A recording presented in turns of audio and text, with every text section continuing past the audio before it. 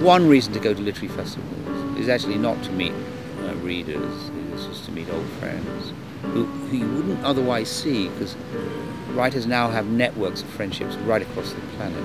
And the only way we see each other is, is through festivals like these. The tap of his cane on the floor. The literature actually allows us um, to become ourselves by becoming somebody else.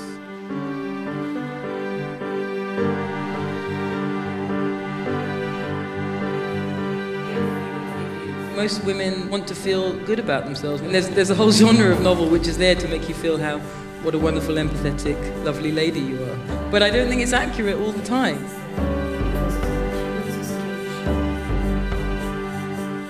Every morning I wake up, I uh, grab a pencil and I write at least uh, two pages before I, putting on my makeup.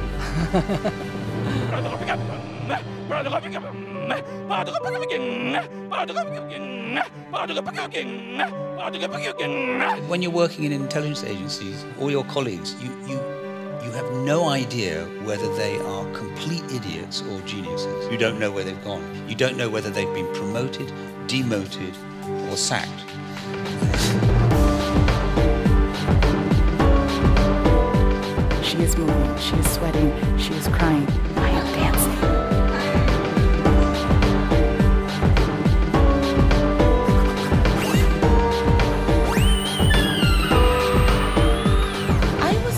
That this is a special festival, but I don't think I could have imagined how amazing it is. The scenery is exquisite and it's small, and I think the two things put together mean you have this really intimate experience here. I was I was on stage with Colum McCann, one of the novelists that I've admired for so long, but it felt like we were just on the beach enjoying a little chit chat. I had this real interesting idea that we're all multi-local.